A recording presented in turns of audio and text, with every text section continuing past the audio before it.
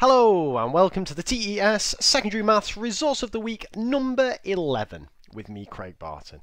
Now I'm not going to lie here, you are in for an absolute treat and I make no apologies for the fact I'm going to get a little bit overexcited about this particular resource. Now, those of you who've been following these resource of the uh, weeks for, God, what, the last four years now, will know I'm a bit of a sucker when it comes to a lovely designed Excel spreadsheet that does something fancy, purely because my Excel knowledge is limited to the odd uh, A1 plus A2 formula. But this is it's just something I've been looking for for years. Pythagoras and trigonometry question generator. So it's a single file um, uploaded and created by Mr. Jackdaw, and it, and it looks like this. Now, after that build-up, you're probably thinking, flipping out, that's a bit of an anticlimax. That looks a little bit rubbish because they're just kind of Pythagoras and trigonometry questions. Well, the first thing I'm going to show you that's impressive is that um, it'll give you the answers. Now, that's that's good straight away for me because I love to be able to project something up, project the answers up, and then we can have uh, kids can mark it themselves. We can have a little discussion about any tricky ones, and I don't have to worry about doing the working out myself. So that's the first thing that impresses me.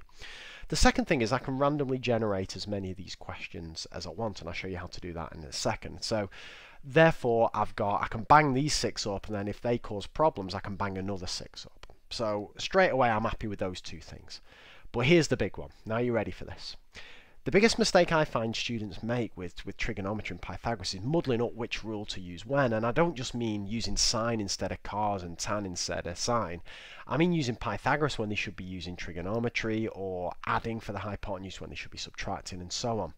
So wouldn't it be good if we could kind of mix up these styles of questions? Well, look at this. Click menu and you can choose whatever questions you want or a mixture of the two.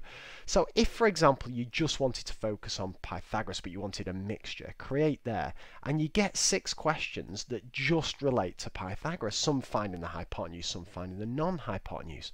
But then say you want to say, right, let, let's get some finding angles questions, but I want a real mixture between sine, cos and tan. Give that a click, voila, you've got it. And again, click on answers and the answers are coming up. But then my favourite thing to do, let's have a bit of everything.